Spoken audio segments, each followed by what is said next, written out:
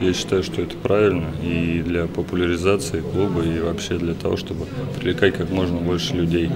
Ну и чтобы про нас не забывали тоже. Для чего это нужно болельщикам, примерно понятно, а вот для вас что?